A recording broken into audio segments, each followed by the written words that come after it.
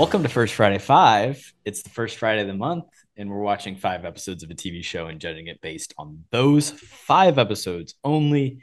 Today's show is Star Wars The Clone Wars. As always, I'm Korbin Zvokel. And I'm Kody Webb.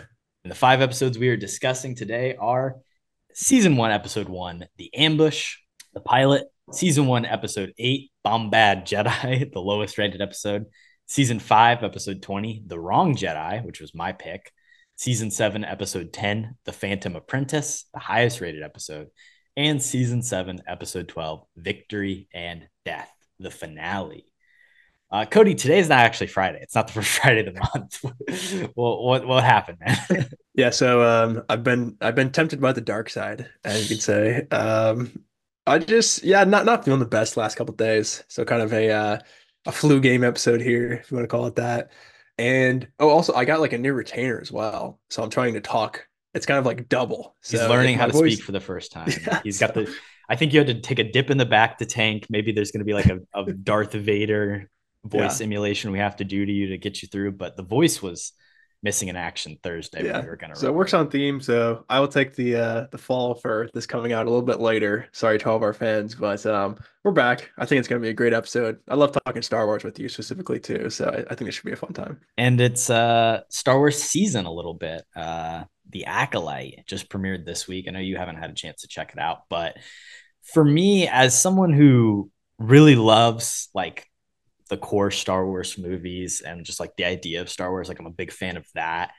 Um, and someone who hasn't been a huge fan of necessarily like the Disney Plus shows released as of late, The Acolyte for me is something that has gotten me more excited in Star Wars. Uh, it's, it's something, you know, they're going back in time. It's the thing that I've asked for, you've asked for. I think a lot of people have been asking for for a really long time. And we're finally getting to see a world with a lot of Jedi uh, at the height of their power, quote unquote. And um, so far, it's, it's it's been fun. It's it's still a Disney Plus TV show. Like like the production value is higher. It's um, good actors and actresses that I like and I'm a fan of. But I don't know. I'm, I'm I will wait to see where it goes fully. Yeah, I think that's the right mentality. I mean, especially like in the early episodes of a season, you're always going to feel optimistic. Um, I feel like that's happened a couple times in the past with with some Disney Plus shows, and they ended up very very bad. So right. I'll definitely uh, check it out. But yeah, new Star Wars show. I mean, it's hard to say no to those mostly. And um, like I said, it's a fun time period. I, I 100% on this podcast several times. I think have been like, let's go in the past. You know, show me some cool Jedi stories. So hopefully we're kind of getting that. And uh, yeah, the cast is pretty dope. So uh, I'm excited. I'm excited to watch it. And of course, the show we're talking about uh, today, Star Wars: The Clone Wars, is something that uh, I watched kind of in my middle school, high school years.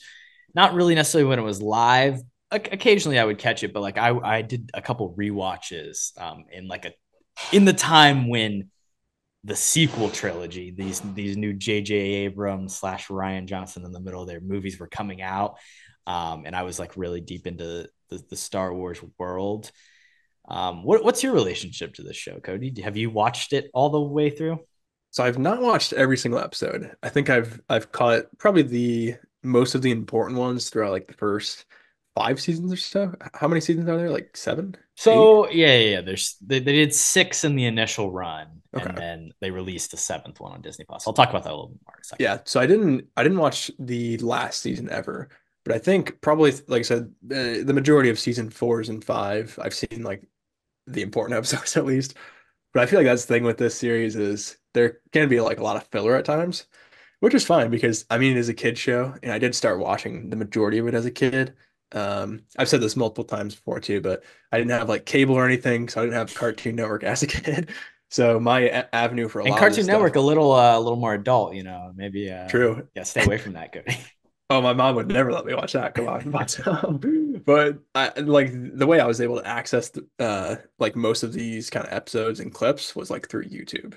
So I think that was where I had started, and then I kind of got into more of just like specific scenes, like anytime like Maul had a fight with anybody, and like his brother and like Sidious.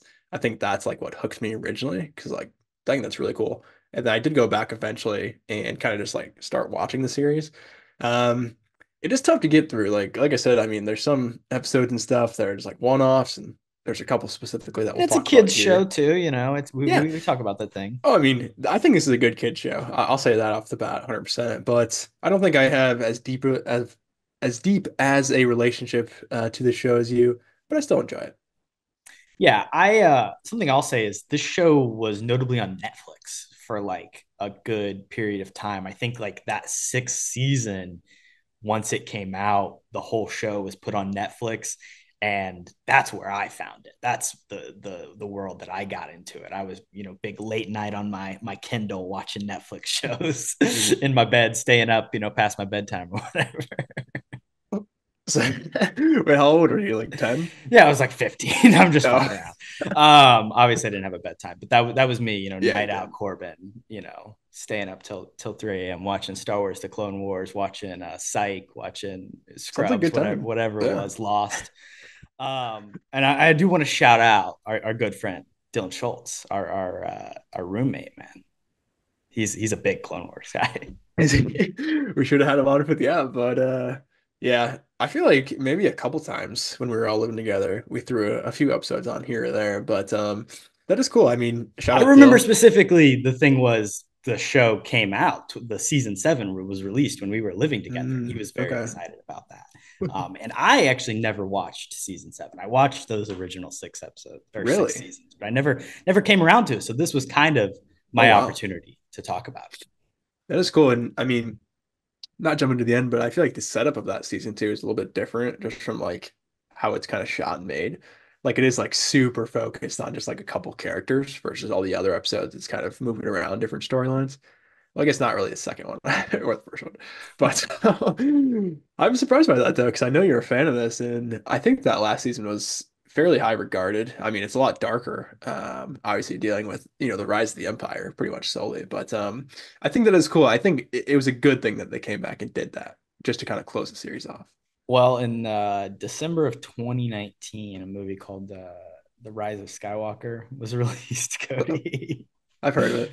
uh, and I think that might have soured things a little bit for me for a second, especially you know then COVID sets in and and you're just like it's dark times, you know. I, I I I did not turn to this sadly. Just a little background of the show. This is created and executive produced by George Lucas. This is really like the Yeah. last major piece of Star Wars media that he fully had his hands in, and even that season six time period is during the selling of Lucasfilm to Disney and why it gets canceled. And then season seven is notably back brought back as a Disney Plus show, right?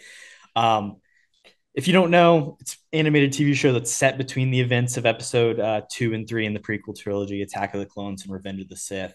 There was another animated TV show that they did in like 2003, which was uh, Tartakovsky, the classic animator also kind of called the Clone Wars. It gets very confusing with these titles. Um, George saw this as like a continuation of that, but not necessarily like you have to watch that show to get what's going on, and it you know it doesn't have Ahsoka or anything. It's a, it's a different storyline. This show starts with a theatrically released animated film. Um, technically, it was kind of the Moana 2 thing where they were like, we have a couple episodes of this TV show, and we're like, why don't we just stick them together, make it a movie? They put it in theaters for a budget of like nine million dollars of an animated movie. It made like 70 mil. So it was a hit and was critically panned. It, it has like a 20% Rotten Tomatoes. So did you see this movie, the, the Clone Wars movie?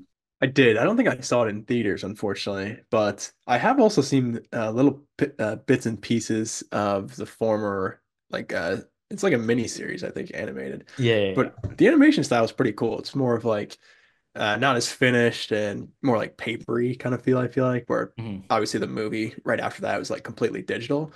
But um, I have seen the movie. I, I didn't really like it either, if I'm being completely honest. It's kind of like super super boring. But obviously, it's like the setup for the entire series, so you can't really do a lot. but oh, the sickness is spreading. Triple sneeze. But um, yeah, it's kind of just like setup. Like, are you still going? I, I thought I was sick, bro.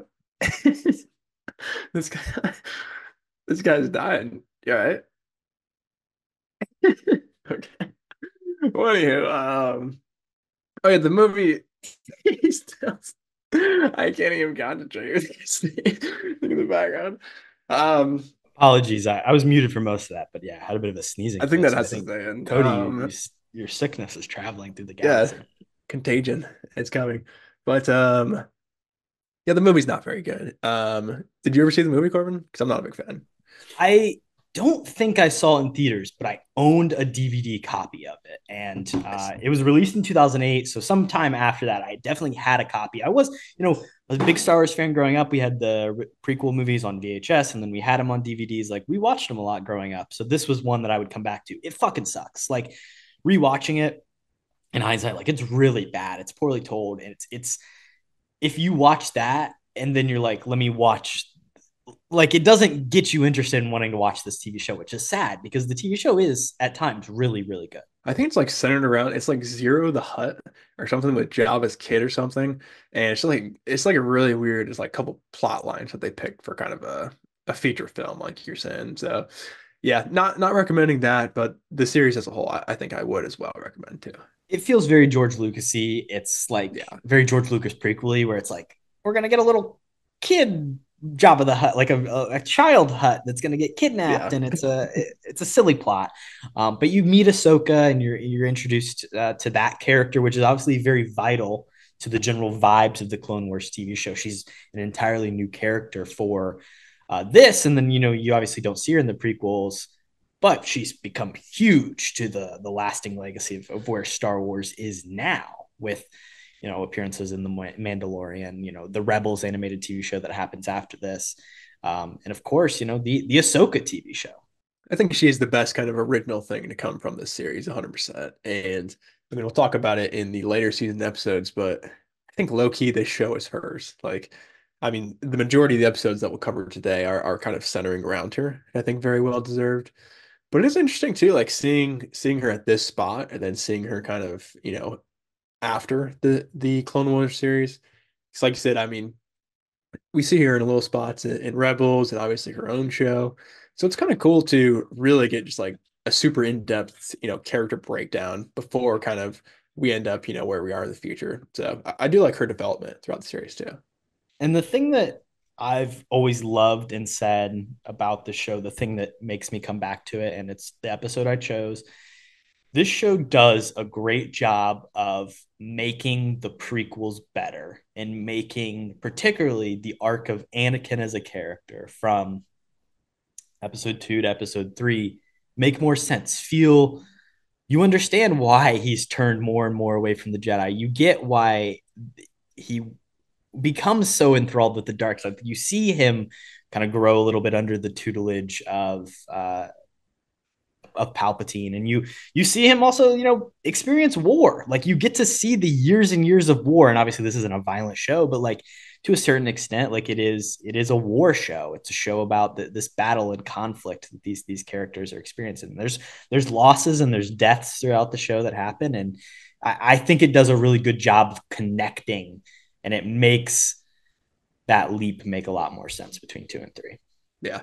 I think that was probably the main purpose of why Lucas wanted to from the beginning too, because I mean that was sort of I feel like a big flaw with the prequel trilogy is just maybe the characters move too fast to get from you know young Anakin Skywalker to you know Darth Vader in three movies. So this definitely brings a ton of depth uh, towards Anakin, and honestly, like even through these uh, few episodes, like he's definitely I think you know one of my favorite characters throughout. So he has a lot to do, and um, I think his, his development is also really, really cool to see.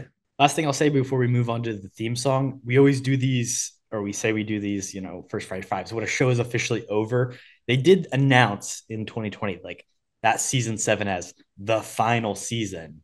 Yeah. That branding isn't really on it on Disney Plus anymore. There's been no announcements or anything, but they've kind of removed that marketing Hmm. and that like so maybe there is more Clone Wars in the future. Obviously, they've done the Bad Batch TV show, which is basically a spinoff of storylines from season seven.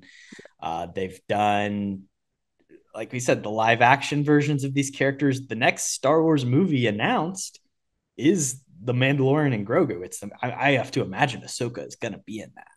You think so? I I don't know. Like I feel like it probably. I don't know. I don't know what they'll do with that. And I think that is really interesting that they've kind of just been diminishing, you know, saying it's the last season. I don't know. I feel like they left it off at a good spot, which we'll talk about, but maybe I mean it's George Lucas, so he's gonna, you know, try and milk out every Well, every single it's time. not, it's not anymore. well, Disney, I guess Yeah. they're even worse. in but- in his name, in his name, Kathleen Kennedy, and, and I mean Dave Filoni, chief creative officer. That's that's really the big thing here. We we haven't discussed is all these episodes created and executive produced by George Lucas, but Dave Filoni is the supervising director. He is really like the main creative force. He enacts the vision throughout this run, and then in season seven, it's it's only him, right? Because George Lucas is gone, and now he's been in November of 2023 has been made like the chief creative officer of of Lucasfilm. Everything goes through him, and that explains why we're getting so much of this world that he created expanded. Yeah. I mean, it makes sense. You put the guy in charge who has done this big thing. He's probably going to want to keep doing that. Also, I think he he's the guy who's always wearing like the cowboy hat, right? yeah, yeah. Shout out to that hat. Yeah, Pretty dope. I, I like his general direction. I, I think everything that he's kind of been a part of so far, you know, I, I you know generally like. But um, when you go kind of too deep in your own rabbit hole, sometimes that causes some problems. Uh, i.e., George Lucas, i.e., Rian Johnson. But um, History is bound to repeat itself. I, I don't want Rian Yeah. Johnson really included in that because I think his you know, whole thing is like forget the past, you know, learn from it. yeah, he didn't he didn't forget too much. something But, um, but your your critiques of that movie are ridiculous. But let's What? let's talk let's talk. Uh, there's many episodes where we've discussed it. We don't have to get into that today. we Let's need talk a we need a re-app. We need a The- re-app of uh, the Last Jedi. the theme song. Let's talk about the theme song, Kody. Uh, it's kind of a weird thing, you know. Star Wars obviously known for its scroll, uh, and it's John Williams' theme. There is no scroll in these episodes, um, but they start with like a yellow logo, Clone Star Wars: The Clone Wars, with the music playing, um, and then we get kind of rather than a long time ago in a galaxy far, far away. That font and lettering often, you know, displays like a quote, and then there's there's also usually like the Galactic Republic has been at war for many. Like there's a big there's a narrator voice guy who's like I love letting you know what's going. Yeah, you know, throwing you into the sea, which is what is is great about this TV show is you can really drop in at any point. Um, because you know they're going to give you a little recap of what's been going on, and the show itself kind of jumps around in continuity, so you always need that that intro. Um, but it's hard to place this amongst our other Yeah. themes over the course of First Friday Five. What do you think about the intro? It's hard to grade, like you said. Um, I mean, the, mu- the music too, I think, is really, really good. I mean, of that's the thing when you have John Williams, the John Williams Star Wars theme, you kind of you're cheating a little bit. It's hard to do that wrong, really. But I think they do a good version of it where maybe it's like sped up a little bit. And like I said, I do love like the previous on guy. It's like, oh, the, the Trade Federation tariffs have been lifted and a Nute Gunray. Blah, blah. It's like, dude. Nute Gunray of the Trade Confederacy. Republic and separatist armies vie for the allegiance of neutral planets. Desperate to build a Republic supply base in the system of Toydaria, Jedi Master Yoda travels to secret negotiations on a remote neutral moon. I could listen to that guy just talk all day, if I'm being honest. So I think that does bump it up a little bit for me too. But um, yeah, I mean, it's it's probably like middle tier with everything what, what we have gone over, which we can definitely get into. But I definitely enjoy it a lot. Like this is not something I would like fast forward or skip through for any reason. Uh, yeah, I never skipped it. It's not drawn out. I also note season seven, which is two of our episodes, they kind of do away with it, do a different thing. Add Yeah. the like red Star Wars, the Clone Wars logo. It's dark, man. It's dark, dark, ominous, man. Shit's gotten crazy. Um, I see Gossip Girl right in the middle. This does feel kind of in that area, right? I think it's definitely better than Gossip Girl. Right, exactly. I feel like we, I see Gossip Girl and New Girl. I feel like we stick it between the girls. I'm down with that. Um, what's above New Girl? Avatar: The Last Airbender. Okay. Well, I don't think it's better than that. So do we think it's better than New Girl or no? I don't, think so. know. With the Who's that girl? so? Who's that girl? It's Jess, dude. What about the continuity though? The later seasons that always gets me. Uh, yeah, but also the later seasons of this one too. It gets Yeah, dark and true. ominous. They tried to switch it up All straight up. All right, I like that spot for it. We can slot it right underneath New Girl. between the ladies, between the, the lovely ladies. It's, it's definitely better than Scrubs, National Treasure, The Curse, Agents of Shield. Like, eh, this this well, feels good. Agents of Shield is debatable, but sure, yeah. Shout out uh, Disney. Sucks to suck. Yeah, shout out to Disney Plus, man. We're, we're big Disney Plus fans on this. We've done a lot of Disney Plus TV shows. For some reason, we need to stop uh, giving them free press. I think, but yeah, yeah, they they don't need it. Season one, episode one, Kody. We're getting into the episodes. This is technically I called it the pilot, but it is a weird thing because one, the movie's the pilot, and I just didn't want to rewatch that shit, so I didn't make you do that. Uh, and then two, the show is not told chronologically, so it's not even the earliest set of episodes. So it's a little bit of a weird thing. What what do you know about the the chronological order of this TV show, Kody? Uh, not a ton if I'm being this I mean, I think this this episode does a decent job in like the pilot idea of it's introducing, you know, some of the main players. Obviously, uh, the majority of our protagonists are not here. No Anakin, no Obi-Wan, no Ahsoka, but we do have the OG. We got we got our boy Yoda really leading the charge here. And also a, a, a cool clone introduction, I think. And obviously, I mean, the series is called Clone Wars. And I think another great thing that we didn't mention that I like about the series is the depth that the show gives all of the clones, um, which is something we saw pretty much nothing of in the movies, other than um, Jango Fett like getting his head cut off and stuff, which was fun. But um, I mean, it, also too, I think it's interesting. Like this pilot episode, it actually has a title. It's called Ambush, which I think that might be the first um, pilot episode that we've done throughout the entire series that isn't just called pilot. So I think that's cool.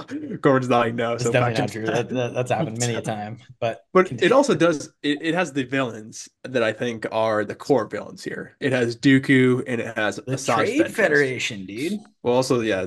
Uh, just as a whole, the idea. I don't yeah. really like that stuff, but you you get the concept of, you know, there's a lot of these passive planets, and you know both the Republic and uh, the Separatists are coming to them, being like, hey, we, we want to build a base here. Who are you going to pick? So I feel like uh, like the majority of maybe season one, I feel like it's somewhat similar to that, where you're still you know establishing places and establishing boundaries and stuff. But um, I also thought it was cool. Like Ventress and, and Dooku are just real assholes in this episode, so I, th- I think that setup is good too. But I don't know. Uh, what do you think about this episode? You know, we said the the movie's so bad, and I think there's definitely something to be said about they're like let's do a Yoda episode first because everyone loves Yoda. And this isn't like like we're doing Yoda well. We're not gonna make it because it's an animation, like everything you can the technology is all even across the board. Like you don't have Yoda looking weird in comparison to everyone else. So you can do a fun Yoda story. He's gonna show off his badass Jedi skills, and that's gonna be your first episode of the actual, you know, television show. Because then that'll get people to be like, okay, maybe this isn't so bad. I'm, I'm interested in watching it. And I think it does a good job of that. It does jump around in the storyline. So this chronologically is the fifth uh, mm. thing events happening. So I'll, I will not run through the whole thing, but season two, episode 16 is actually the earliest set event in the chronology. then season okay. one, episode 16. Then you have the Clone Wars theatrical release. Then season three, episode one, season three, episode three, and then season one, episode one. Hmm. Uh, and then, then then this goes one, two, three, four, five, six, seven, eight, nine, ten, eleven. Like the good chunk of season one from this point on is all kind of set in a row. But then the thing this the sh- the story is kind of told in the uh, a lot of arcs. But the big thing that happens is that like people will die at certain points and then they come back later in the show. So it can get a little bit confusing that way. When I watched this show, for my like big watch for the first time all the way through. I watched it chronologically because I was like, I want to get the the full depth of the story. So I think there is something to be said about um, doing that and, and, you know sticking with it uh, and, and kind of seeing the full development. It is weird where it's like season three. They're like, let's go back to the story that takes place, you know, leading up to this ambush episode. It, it's interesting the ways they jump around, but overall, I think this is a very good place to start because, like you said, introduces to the clones, which are great, and introduces to the to the fact of it's not always going to be about Anakin and Obi Wan and Ahsoka. You're going to get to it's a true tales of the the Galactic War. You're gonna you know have an episode with Yoda and the clones. You're gonna have an episode with Padme and and and uh, Jar Jar. You know you're gonna do a lot of different stuff as you jump around. I think that's a good point too. Where I think this is definitely a safe pilot after coming off. I mean, the Clone Wars movie, I think it was you know a success probably in their eyes just from the box office performance, but obviously the ratings were were a bit lower. So I think, like you said, I mean, from the safe side of things, this is about as kind of simple and straightforward as an episode as you can do to begin, and it's still pretty effective. Like I I do like this episode. I don't think it's great or anything, but another fun thing that I like too is like giving this droid army a lot more personality. Of course, you get, you know, a famous Roger Roger in here, which I love. Um, I'm gonna have to clip that because I'm gonna say that a billion times. Roger, Roger, Roger, Roger. But uh, there's another great moment too where Yoda's mowing him down, and this one guy's like, but I just got promoted just get sliced. There's so many like fun moments just with kind of the the droid army that is obviously a re- recurring theme. Yeah, the, the droids are big characters. They say something about them like not being programmed to shoot properly, even yeah. to like address the fact. It's like they, I missed terrible shots. It's like why'd you miss? It's like it's in my program. um, the other cool thing is like you're getting a Star Wars world. Like we see that often in these planets, but we're going to Toydaria. Like like you said, one of these moons, and we're seeing the Watto species, the Toydarians. King Good to know they're not all racist, I guess, but yeah, yeah they're not all anti-Semitic character, characters. um, but but uh, like I, I, love that, you know, like you said, uh, it's the battle between the the separatists and the rebel, or, or I guess the Galactic Republic, not the rebels. Um, you know, who who are you going to side with? You know, and we see that in another episode you know who who are you going to choose? There's all these worlds on the outer rim that have to decide you know are you going to be with the jedi or are you going to be with count dooku and the, the droid army? Yeah it's funny too for like a kid show. I mean similar with the prequels as a whole but it's it's pretty much just like a political dra- backdrop of like who are you going to support politically? Because it's a war show and like it's during the, the war time it does a better job of placing these conversations on like the battlefield yeah. rather than in a senate in the galactic senate. Like yes there's some of those scenes but it, it, doesn't happen as often. It's more like here's yoda and dooku like fucking talking it out. I think that i think lucas did learn a lot from the prequels. And i think like i said i mean i feel like these are a direct response to a lot of kind of the fans qualms with uh specifically the last couple movies of being like i want to see more of this. Like why did you not show more of that and I think this is a, a great platform just to kind of, you know, flesh out everybody to the point where uh, there aren't any like unanswered questions or anything like that. So I think it's a fine episode, but um, probably probably my fourth favorite out of the ones that we'll cover today. That that's fair. It's you don't get the the best characters, but hey, everyone loves a good Yoda. Yoda being a little uh, shithead episode. who can hate who can hate Yoda? I don't know anybody who can. No. So yeah. The the scene of him around the fire just chatting up with the clones, it's great stuff. Yeah. Uh, moving on to our next one, which is our lowest rated. Uh, season one, episode eight, Bombad Jedi. There is technically uh, a season seven episode that was tied for the lowest rated, mm. but I mm. was like, I don't want to do a three season seven, even though we're gonna do two season. Yeah. But you know, this is a different type of story a little bit. So it also gives us the chance to talk about everyone's favorite character, Jar Jar Binks. Um, and it is clear that, you know, plays a big role in, in why this is the lowest rated episode. Kody, what do you think about Bombad Jedi? Yeah, I don't even know if I understand the name of the t- of the title. Be honest, but um, Gungan shit, man. I mean, this makes sense. I think to me for being as as low lowly rated as it is. Like I said, I mean, it's it's centering basically Jar Jar Binks and I mean, it's um, got everyone's favorite prequel characters: Nute Gunray, Jar Jar Binks, fucking Padme, uh, Greedo species, whatever they're called. Yeah, all the classics. But um, yeah, I mean, I didn't hate this episode. I don't think by any means. I think there's still some fun parts and stuff. But just to have an episode completely centered around Jar Jar Binks is something that I probably wouldn't recommend. Uh, you know, most times. Oh, fun thing actually, I forgot to mention the last one too, but the title card at the beginning of this, this one, it popped up and it says, Heroes are made of the time, which I thought was really cool. And I think it is an interesting premise to be like, oh, you know, uh, these these bad guys in a sense think that a Jedi is here, but he's actually not. I think the ideology of that, you know, concept is pretty good. But the person, you know, being the fake Jedi being Jar Jar, uh, kind of I'm less on board. So I think just you know dealing with just the way he kind of interacts and talks is is definitely annoying. but it, it didn't get on my nerves as much as I thought it would. He's definitely toned down a little bit. Um, you know, he's like a special delegate. Padme's like, stay with the ship, Jar Jar. Like, I, you're, I don't want to be around you. Just like, stay here. You're gonna fuck shit up. And then she goes and meets, like you said, Greedo's species. Uh, her uncle Ona, uh, Rod- Rodian is their species. Everything's an R to George Lucas. He's not too original. But the thing about Jar Jar is that he just he has insane like plot armor. Like he fucking falls off a cliff and he survives. Then he falls off another cliff and survives. Then he gets eaten by a fucking you know giant fish to survive an explosion. Like it, it's annoying because it's like he's just fucking you know tripping into being a hero. He's not really doing anything too terribly heroic. Uh, yeah, it's still like that slapstick thing where he somehow comes out on top in every single moment, even though he's outmanned, outgunned.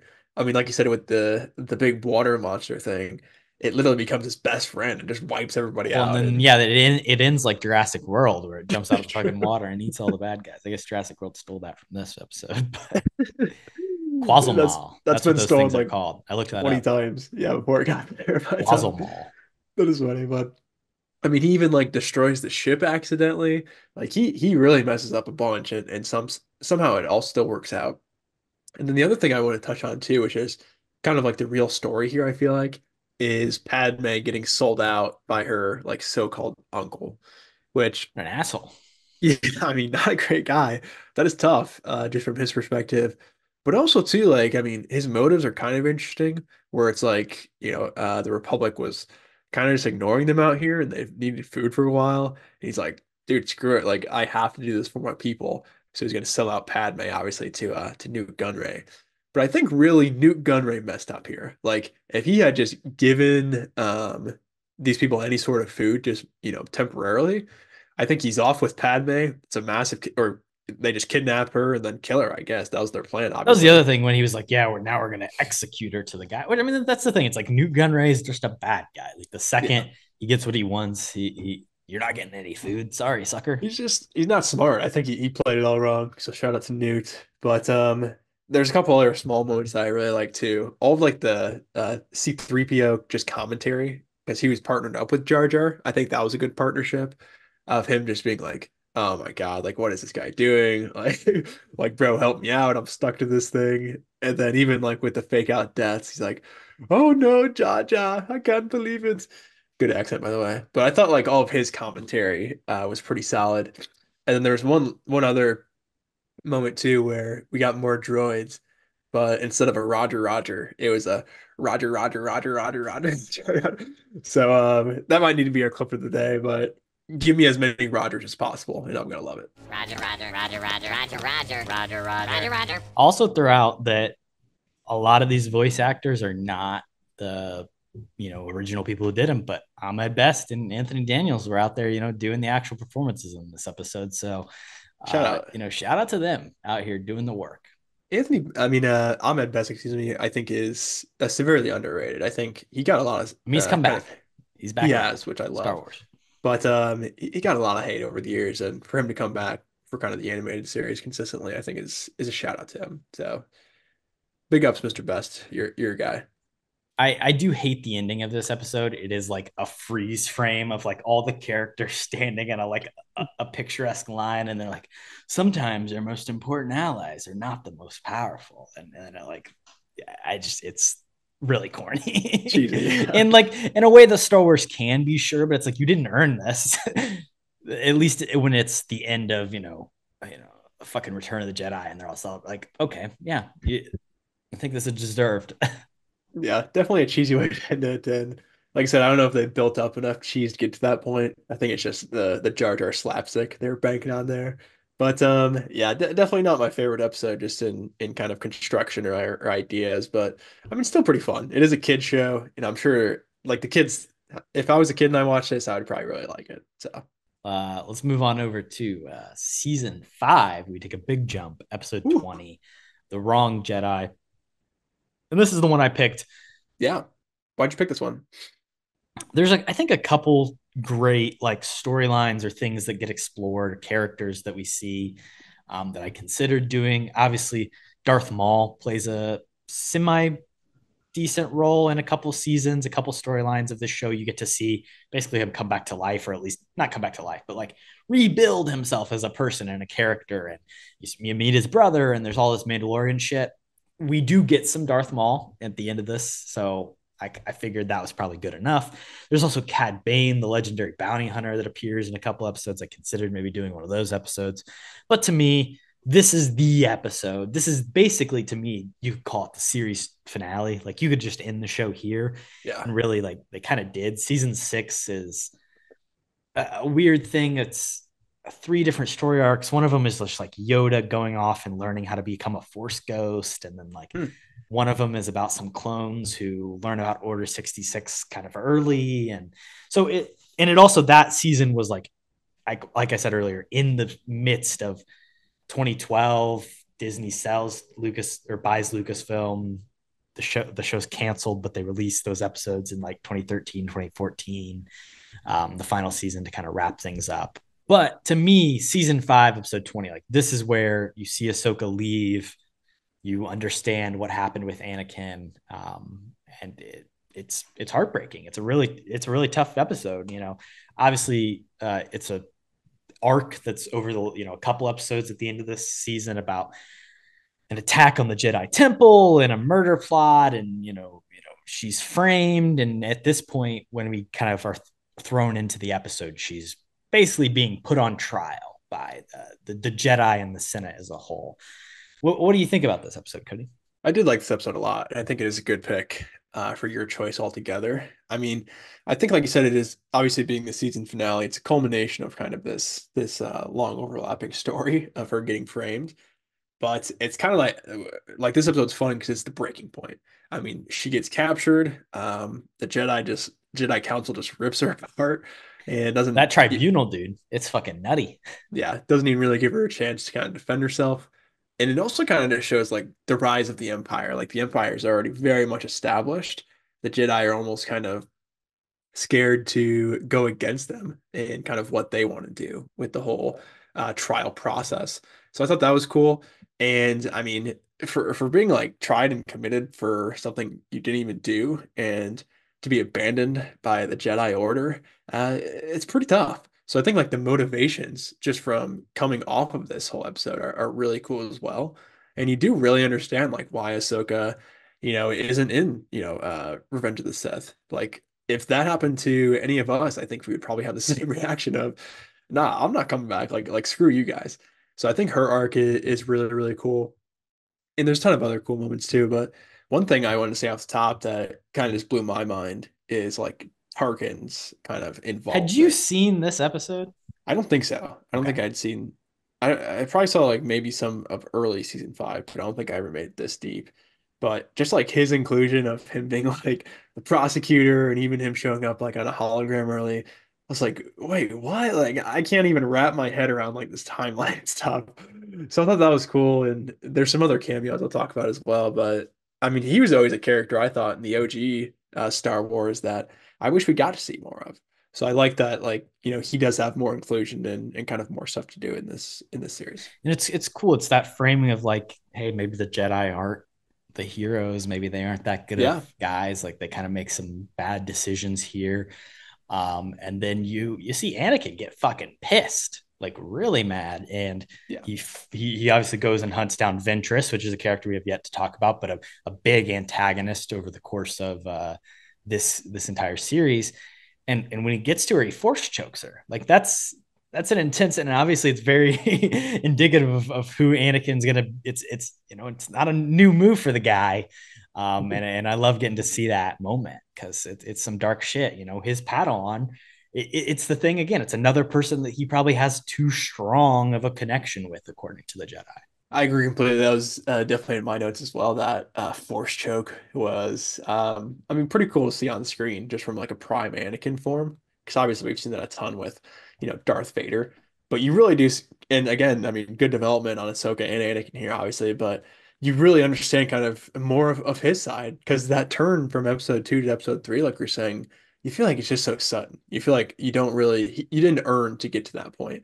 And I mean, this is a massive stepping stone of his Padawan, who is super, super close with, is just, you know, taken out of the Jedi Order for something she didn't do, and he's the one who has to go around and you know figure out her innocence and stuff. Um, and then I'm sure you're going to mention this too, but fast forwarding to the very end where he has that really sick fight with uh I think her name's Barriss Yeah, Offee, Barriss. right? Fuck Barriss, dude.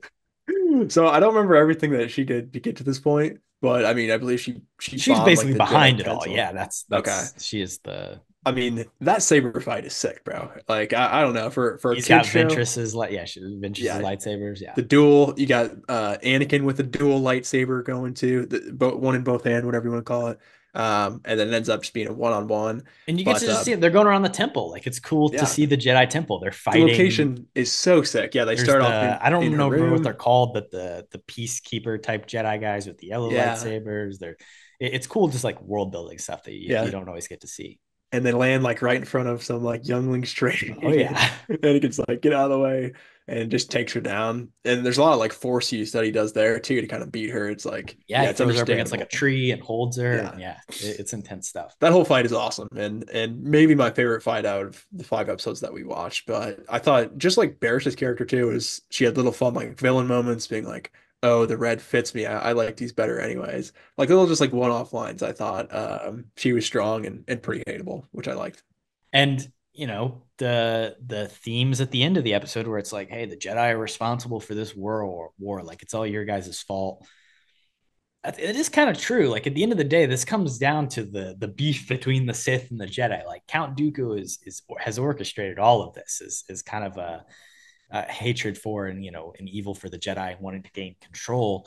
So like it a lot of lives a lot of people have died a lot of bad things have happened because of of this this jedi and you've you know at this point seen five seasons of this war play out so Yeah. I, I think this is a, a great finale and then of course you know ahsoka leaves the order she goes down the steps walks away and and that it ends True. And a fun thing I wanted to shout out too is I think this is the first time in any of the episodes where the Star Wars theme didn't play at the end uh, of the episode. It was it was kind of like quiet, which I really like, just like the effect of that of where you kind of just like sit and look at the screen and you're like, oh damn, like that was kind of a tough episode. So I really like that too. yeah it's uh really powerful it's on on its own it, it works great but again it's the culmination it's the like to me this is the reason you should watch this show is like to get to this point and to see like the relationship that's built up and then to see this fall from grace like to me it's it's really incredible Yeah. And like I mean, just capping that too, like the Ahsoka arc, I think is really, really cool.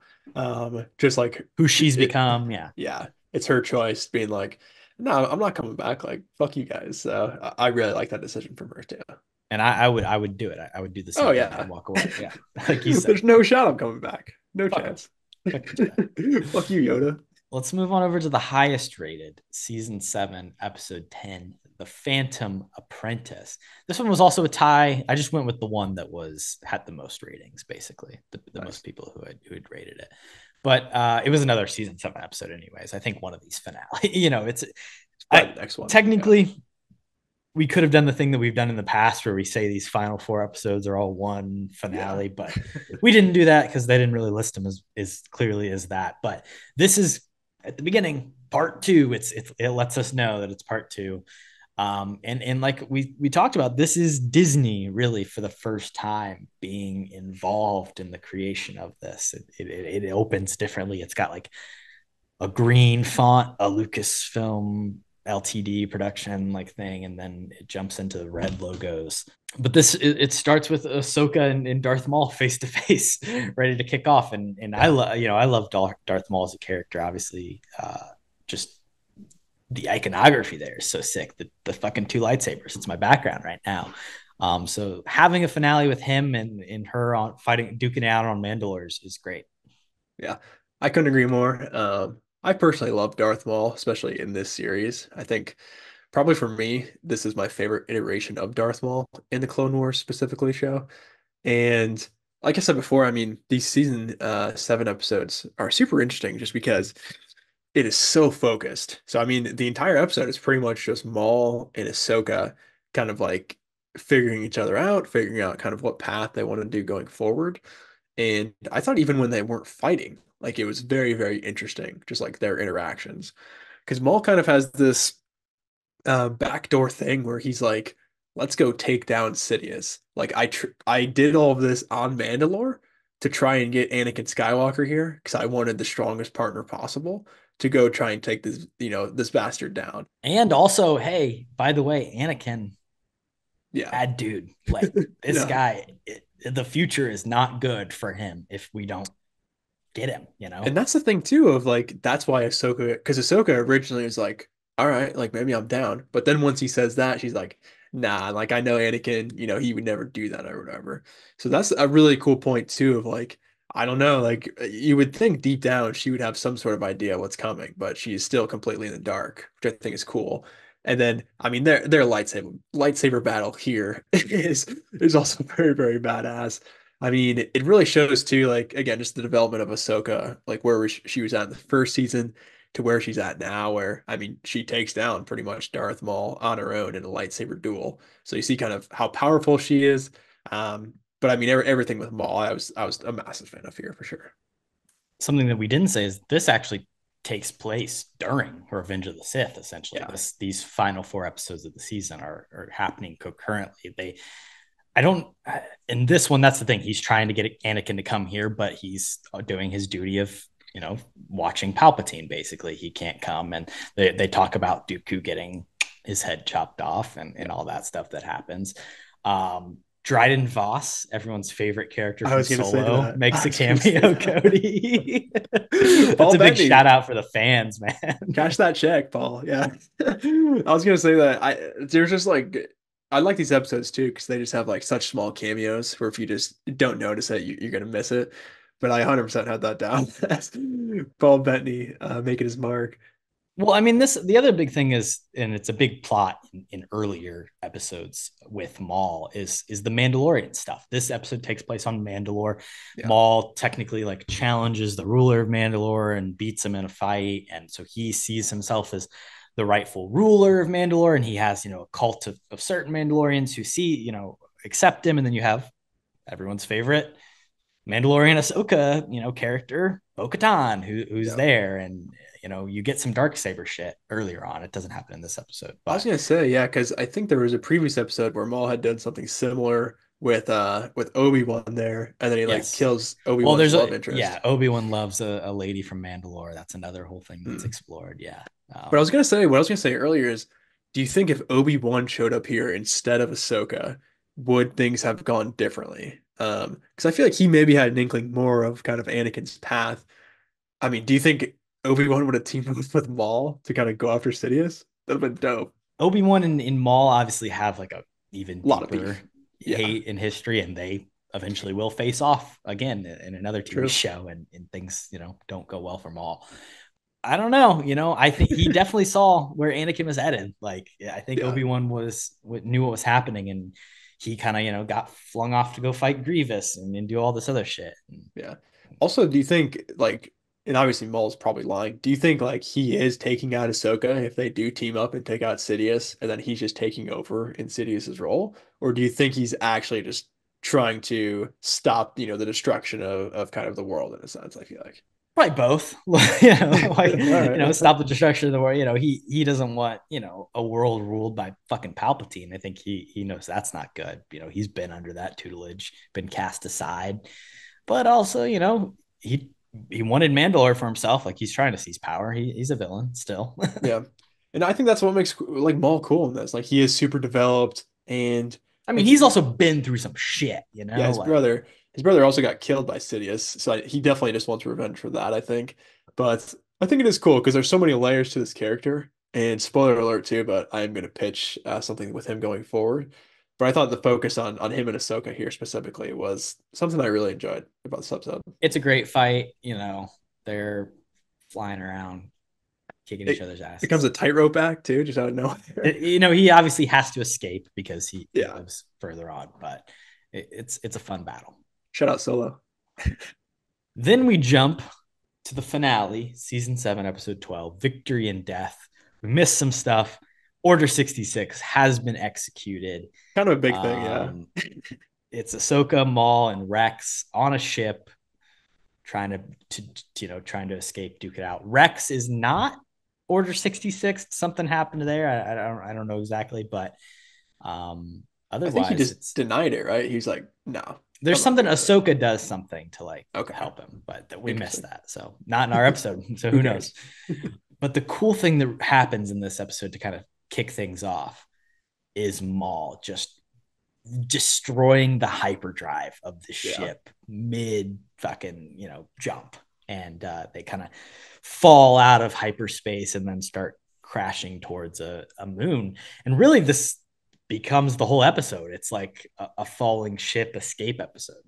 And it, Yeah. it's exciting. It's an interesting choice for a finale. Yeah, I think um, it is an interesting choice, but I do enjoy it a lot. And like I said, visually, just that moment of Maul like messing up the ship and then its downfall, like you could put that in a Star Wars movie, and I would probably love it instantly. And then he So gets the thought that- fuck out. Oh, he dips. He's out. Why would he stay? He's out. But oh, and you mentioned Rex too. I really liked Rex in this episode because I feel like I mean, obviously, where we are at, like you said, they're trying to escape Order 66. And just for this guy and Ahsoka too, where like these are, are some of the best friends that they've made here are all these other clone troopers. And all of a sudden they've just, you know, snapped, you know, out of nowhere and are trying to kill you. So it's kind of a really tough situation. I like that they um, don't even really retaliate. They just stun everybody who they take down. They don't try and kill anybody. Um, and then Ahsoka, I mean, I feel like this is specifically her episode as well, which is awesome for a finale. Even when, like you said, when Maul is trying to escape and she's like force holding uh, that shuttle for like 30 seconds, again, kind of shows like her real power and, and like how much of a badass she is, which I love. Yeah, a- lot of great Ahsoka stuff here, and like like you said, I love how they're they're not trying to kill the clones. They're you know they play the fucking like up and down elevator game to try and Yeah. disarm them at different points, and um, obviously it doesn't work. You know the the ship crashes, and it, it- there's some visceral dead clone imagery that you kind of get. You know Yeah. the the the heads on the spikes and all their them buried, and then Kody uh, a little character named Darth Vader fucking shows Who? up. What, what, do you th- what do you think about his inclusion? I think it is pretty cool. It's kind of just like this silent moment. Vader shows up. He finds Ahsoka's lightsaber, kind of assumes that she died, Yeah. or, or maybe you know, you know, feels her somewhere in the world, but I don't know. Yeah. He he thinks he sees that lightsaber and has a you know a big moment. He's you know recently become Darth Vader. Obviously, this is not far after the you know his fight with Obi Wan, but. What, what do you think about the the Vader cameo? I mean, I love it. I think even giving us something so small is going to kind of make me happy. But like you said too, I think it's interesting, just like the mind games a little bit of Ahsoka leaving um her lightsaber. Because when she did that, I was like, like what? You know, she just trying to leave the past behind. But I think that is mind games because you know that you know whoever the bad guys are going to show up and probably just assume that she's and dead. obviously all the clones like their thing now is they're trying to kill all the jedi so she's kind of you know going into hiding a little bit which is cool. But then, I mean, I mean, the Vader entrance I think is awesome. Just the animation with that, just him walking through the snow is super cool. And um, yeah, I think it's a really, really good way to end the series as well. I wish maybe we got something in between of like his more transformation into Vader, but I guess we kind of see that in you know Revenge of the Sith enough. Not that it's done you know particularly well, but um, I thought it was a good. no, but I thought it was a uh, it's a good moment to end the entire series. I think for sure, bringing him back. yeah i mean it's the star wars thing that you're gonna do you got the fucking Oh, yeah. vader drop It's Use like him at, at the end of Rogue One. It's like maybe it's not necessary, but I, I love that it's there. it's badass yeah. Yeah. Thanks for listening to the episode. You can follow the rest of our happenings over here at Kody and Korbin Have a Podcast on Instagram, Twitter, and TikTok at Cat Podcasts, K H A P O D C A S T. Please follow us on Spotify, give us a rating, subscribe to our YouTube channel, and follow along for more. top five Kody what are your top five things from the my these top five. I was, I was really trying to brainstorm. Like I, I went pretty basic. I just went for uh, my top five Jedi from these five episodes. i was gonna do that so i'm glad i didn't Nice. Okay. what do you got So I'll start off at number five. I'm gonna go with uh, Miss Barriss uh, Offee. I think it's hater Yeah, Loki put her put her down list. It's just because she turned to the dark side here. But I mean, she's manipulative. She's really good with the lightsabers. So I think she had to crack my top five at least. what's what is Barriss? Like what species? I have no Yeah. idea. um Something with freckles. Oh, she comes back later. Interesting. Okay. Wow. I mean, yeah, she doesn't die. She's just imprisoned. M- Muriel, Muriel, Mirialan Shout out to all the Mirialans. Any from Muriel.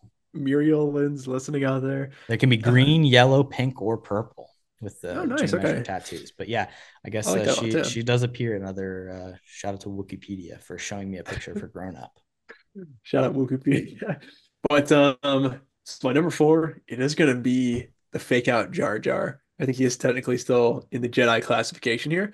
Um, and he does pull some moves on like some animals and stuff that kind of gets you thinking. You know, I- I'm kind of on board with the Darth Jar Jar uh, theory. You ever contemplate that, or what, what do you think about that theory?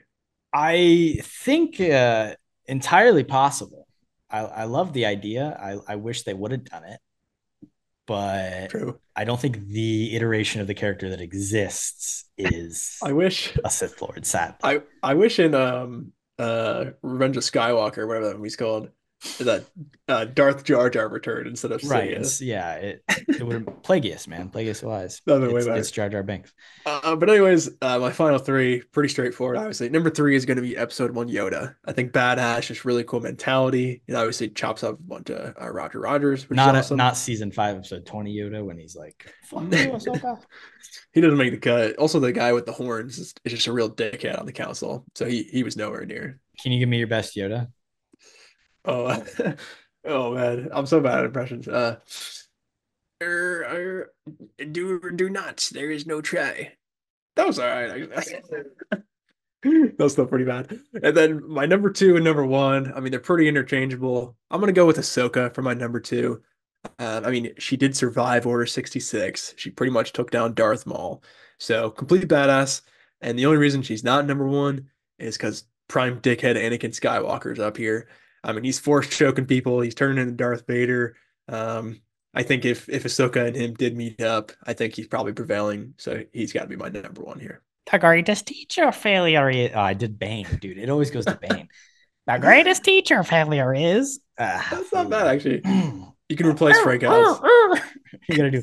"Uh, You sound more you like or Kermit. not. there is no try. Well, that makes sense. Shout out, Frank. Shout out, yeah, shout out. What's your top five? Uh, shout out Jim Henson.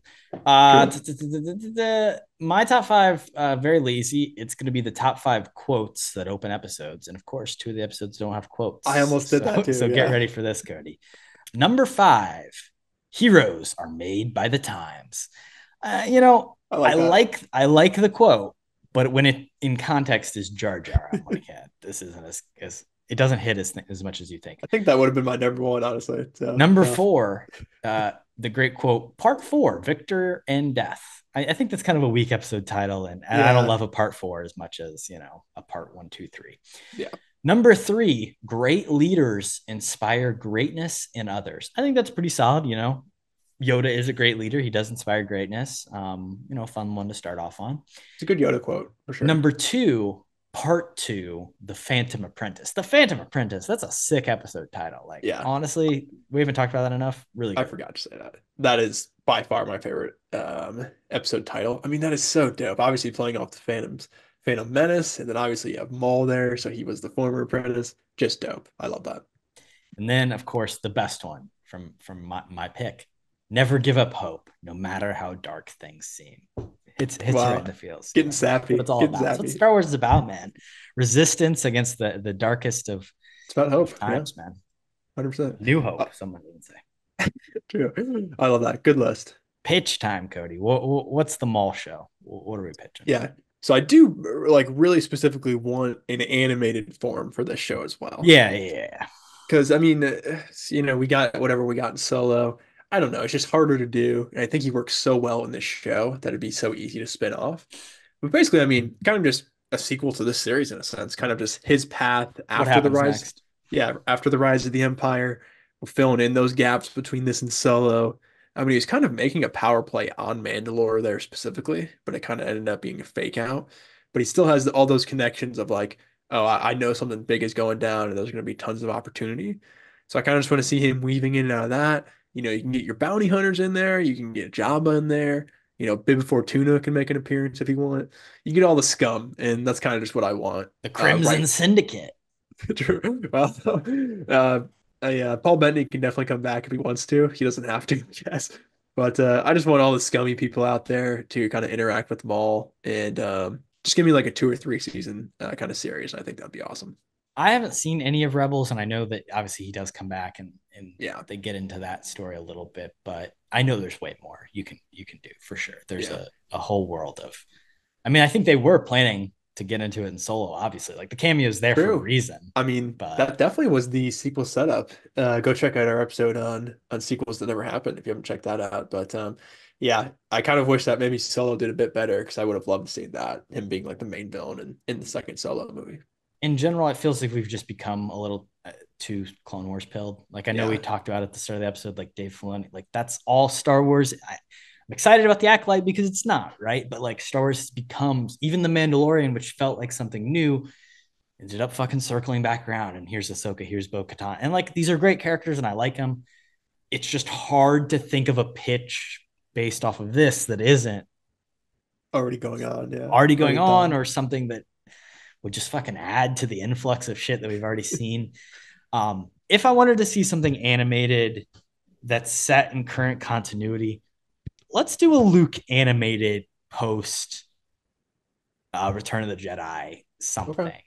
Because they've started to give us weird CG young Luke in the Mandalorian and stuff, and like that doesn't work. Let's not do deep fakes. Let's cut that shit out. But like we can do it in animation. Like we can see you've you've given us the depth. Like that's what the Clone Wars was. It was connecting two to three. You can connect Return of the Jedi to The Force Awakens through animation in a certain sort of way. I would be interested in seeing that happen. The the the building up of his Jedi Order. I think that's the only way you can show that is in animation. I don't want to see it in live action. I don't think they will, or at least hopefully they won't do live action at this point.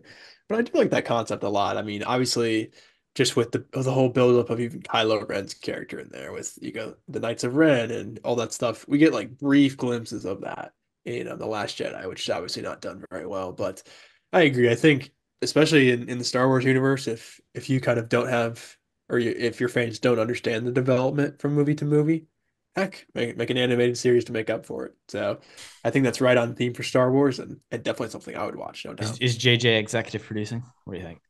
I mean, I think so. I, I I love The Force Awakens, so I'm on board. Just keep Rian away from it. We, we don't need him anymore. But yeah, JJ is definitely involved. Uh, the the real things that I would want to see from Star Wars. Like I don't even really want that, but like again, if I have to pitch something, I mean, real they've- things. They've give me the Rian Johnson trilogy. Yeah. give me Knights of the Republic. Give me you know, give me old shit.